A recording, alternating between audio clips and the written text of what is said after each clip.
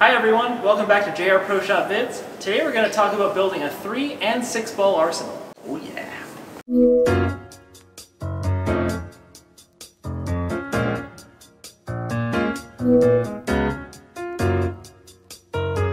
So for your average league bowler, why is a 3 ball arsenal ideal? Uh, I think three ball arsenal is ideal because first of all you want your spare ball. I use a pitch black here as a urethane but also couples as a spare ball. And then I've got my Idol which hooks right in the middle. It's not too strong but it's not too weak right in the middle of the lineup for storm. And then I got my big hook and ball here, the UFO, that I like to use on the fresh oil when they just dress before league. So I think these three balls is a good mix for uh, typical league night. All right, Barco, what's your strategy for a three ball bag? Same idea as you. Um, I like to use urethane. It's dual purpose for me. If I need to hook it, I can do that, but I can also throw very straight my spares. Uh, Ebonite Omni, big hooking asymmetric solid ball, and then right in the middle is the track latitude. Really, really good for altering surfaces to give you a little bit different shape on either end of the spectrum. That makes sense. I think so. so I noticed we both picked a very strong bowling ball at the top of our lineup. What was your uh, philosophy behind picking UFO? Uh, I know that during league, it's always going to be fresh oil, right? They're always going to dress the lanes right before we show up. So I want this big hooking asymmetric solid uh, to really get through the fresh oil and give me a smooth shape down lane. What about for you? Same thing? Same idea. With a little bit of surface, it can help me dig into the oil and give me some control on the fresh. Where ball like the Latitude may not be strong enough to really dig in, I might come up a little light in the pocket. So we talked about the big balls. How do we move it back to a, a weaker ball and something in the middle? My strategy is we start with the big ball, the UFO. But as soon as we're getting like half a game, one game, one and a half games in league, uh, you know, the lane's gonna burn up a little bit. The oil's gonna start to disappear, right? Lots of balls are going down the lane, they're picking up oil. The, oil's getting moved down to the back end. Uh, so I'm gonna go down to my symmetric solid here, the Idol. Uh, it just gives me a little bit longer and a little bit sharper shape down lane. Uh, it's, gonna, it's gonna be a very good one-two punch in league. And once this starts to not work, I think that's the end of league. Three games is up. Sim solids, baby. All right, I see you gotta use your urethane. You say you can hook it too. Are you using your urethane in league at all? If I'm desperate and I don't have a good look with either one of these, I know I have a lot of control and I can play pretty far left for me as a left-hander and control the pocket a little bit more. But also use it as a spare ball. I know it's going to be flat enough through the oil, it's not going to hook. I can make all my single pins with that. Do you feel the same way about the pitch black? Uh, definitely not. Spares only. so being a right-hander, lots of traffic on the right side of the lane. Spares only here, uh, just because I don't carry a spare ball. Uh, this couple is really good. Very comfortable through shooting spares. And uh, if I leave a 2-8 or something, I know this will hook a little bit to get that. So that's why I carry the pitch black. So if you're only using it to shoot your single pins, why not polyester? Well, there's always an off chance that you're going to need to use the urethane up the boards, right? Sometimes oil machine doesn't always put the pattern down properly. So off that slim chance that I need to use this to throw strikes with and hook it a little bit, I have it. So in conclusion, I think we agree on a really strong ball, something to make your spares, and then something right in between those two. As far as lead goes, uh, having these three, I think you have most of your options covered here for three games of league. Let's go to the tourney bag. Start with uh, Jungo's, huh? Back to Jungo's tourney bag. So we got two high-end asymmetricals, solid and a pearl, right? And then we got two symmetric solids here in the middle with strong cover stocks, axiom and Idol. And at the lower end of the symmetric solid spectrum, we've got the IQ Tour. And then down here we got the pitch black, which couples for short patterns and spare shooting. Okay, first off, we gotta start off with a big tank. Everybody needs a tank, right? You're always gonna be bowling on fresh oil, right? You're always gonna be bowling on multiple lengths, long, medium, short. Uh, you're gonna always need a tank. And then down here, we got the tank, that's a pearl. So the cover stock is gonna let this ball go a little bit further down lane and hook a little bit sharper than our solid tank here. So we have two different options for big balls uh, to start out with uh, the first couple of games, right? When the, when the lanes are pretty oily, pretty fresh. Down here, two in the middle, Axiom, uh, symmetric core, really strong cover stock. So this ball is gonna pick up really early, uh, but it's not gonna hook as much as these two, right? So you have another option for the fresh here. Idol compared to the Axiom, a little bit less and a little bit later down lane. So this might not be able to to be used on the fresh, but very soon after, maybe game two, three, four, down in there after the Axiom or the UFO. And then down here, the IQ Tour, it's gonna go a lot longer than the Idol and be more off the spot. Uh, so this is definitely for later in the block, in my opinion.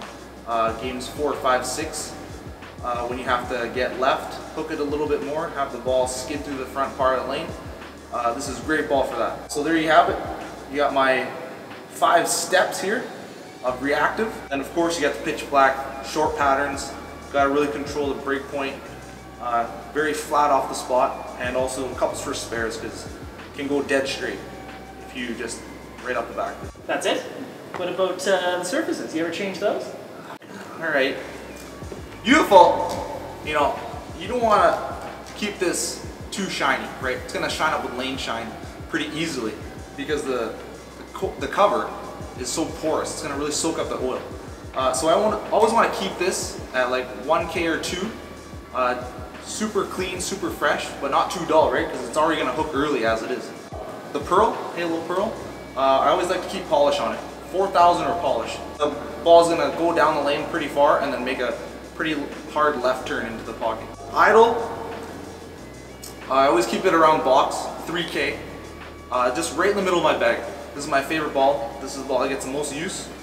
Uh, so I always want to keep it at 3K. Uh, Axiom a little bit duller than that because I want it to be a little bit earlier than the Idol. So this is going to be one or two depending on where I'm bowling. And IQ Tour, uh, we're always going to go four, maybe polish if we're bowling on a little bit drier conditions because it does go longer on its own. And we want that really to hit the corner down lane. Pitch black, uh, it's always 500 or 1K for me. I always want it to hook really early and be very controllable. So as you can see, previous vid again, urethanes, polish, don't really mix. So I'm always keeping this 500, 1K.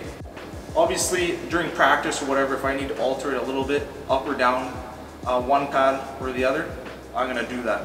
But as far as going to a tournament, this is how I'm going, like this. How's that, Barco? All right, I'm satisfied. Good. Be gone. All right. So do we always go through this progression, or can we kind of work our way back at any point? Uh, great question. Yeah, I'm not always starting with the UFO. Uh, you know, this is just a very starting point for me for medium and longer patterns, but most of the time, uh, I'm going to start right in the middle here with the Axiom and Idol. Uh, this is what's going to help me read the lanes, uh, because if I use the Axiom or Idol, I can go up or down, right, depending on what I see. Uh, so usually in warm-up, I'm using a combination of these three uh, to see what I have out there, depending what looks the best. And as the day goes on, I can either ball back up if I, if I need a little bit more hook, or go down if I need less hook. Not always going one, two, three, four, five. You know, you can start in the middle, go both ways. That's what I, that's what I recommend. Marco! Marco! Come back here. All right, all right. What do you All right, the real bag is done. Let's see what you have to offer. All right, my turn. All right, welcome to my tournament bag. Let's start at the very top. We got the Hammer Redemption Solid, Redemption Pearl, Deviate Verge, Track Latitude, Hammer Fugitive, and of course, the U-Motion. All right, so let's start with the tank, the uh, Hammer Redemption Solid. I'm gonna try using this on the uh, fresh oil. It's gonna really dig in, give me a controllable shape. The next in the progression is the Redemption Pearl. I have the same layout on it, the only difference is it's going to be a little bit longer through the oil and a little bit more responsive, a little bit sharper when it hits the break point. Moving down from that, uh, Deviate Verge. Uh, just a smooth, controllable, symmetric solid ball. Somewhere in the middle of the bag, I have options on either direction. Good ball to have in your bag. Next step down is a track latitude. Similar shape to the Verge, but a little bit less hook overall. So it gives me a good step down if this one starts to burn up a little bit too early. Last in that progression is the Hammer Fugitive. Really clean through the front, but not too sharp down lane. It gives me a little bit of control for a Pearl ball that I don't have in a Redemption Pearl. A little bit sharper, this is a little bit smoother shape. And then of course U-Motion, if I need to play the ditch and I need hook, this one's in play, but I also use it for my spare, so it's dual purpose.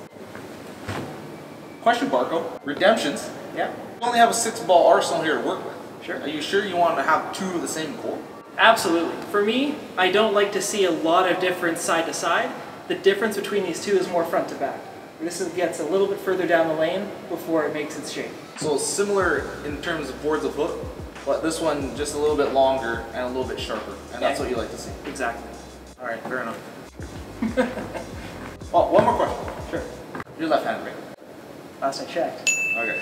I figured that a lefty would err towards more controlled shapes, stay away from the more sharp back-end motions. So, two pearls. You elaborate on the two pearls? So with pearl cover stock, we're not necessarily talking about sharp, we're talking about stronger cover stocks. Taking surface to these can make them earlier than their solid counterpart. So a lot of times with a ball like the Fugitive, I'm only going to use it if there's a lot of lefty traffic. So this is like a last resort if this is too early. Then at least I know I have something to go to. But it's also a controllable ball when you put a lot of surface on it. I've used that many times before. Great answer, Barks. Thank you. I know you love the urethane. You use it all the time. How come you don't have two in here? I don't like having that as part of the normal tournament lineup. If I know I'm bowling on short, I think it's a great idea because that gives me two different urethane looks. But as far as unknown pattern, Yeah. that gives me less options to attack that pattern. So you're saying two urethanes would be too close. Too close on most patterns, yes. So in order to fill out an arsenal and not have overlap, it's, it's a really good idea to put all your bowling balls into a graph. Graph? What graph? Let's take a look. So this is an example of the type of graph that we would use to plot the bowling balls that we have in our bag.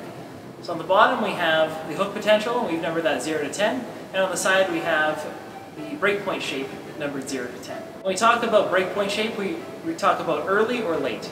So for me, my tank is going to be in the bottom right, the redemption solid. So usually this type of ball will be in the lower right portion of the graph. So for me, my ace and pearl, a little bit less hook and a little bit sharper breakpoint. And for me, that ball is the redemption pearl. Next ball is a symmetric solid. For me, that's the deviate verge. A little bit less hook and a little bit smoother shape. So the next step down from that is also a symmetric solid. It's the track latitude. A little bit less hook, just at a smoother shape. The next ball down from that is the hammer fugitive. A little bit longer down the lane a little less hook. And finally is my U-motion, the earliest and the least amount of hook. All right, my turn for the graph. What? What? Nothing. Jeez. My six ball arsenal. Uh, first up, the UFO. This ball's gonna hook the most, so 10 out of 10 hook, and the earliest, so it's gonna be in the bottom right corner. Next up, Halo Pearl.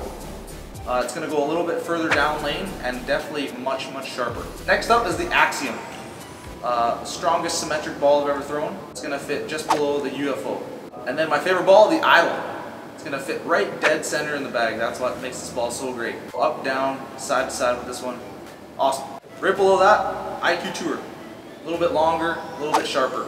Another benchmark. And then finally, the Pitch Black. Super early and not much hook at all in the bottom left corner. So when you guys are filling out this graph at home, uh, obviously you won't have the same balls as us, but try and scatter the graph like we did here. Have a nice variety of balls. Uh, fill each quadrant as best you can. That'll give you the most versatility, the most different options out there. Thanks for watching everyone. Uh, there's a link to the graph in the description. Take a look, fill it out for yourself, see what you have, see if you're missing a ball uh, here or there. Uh, like, subscribe. See you in the next vid. Yeah?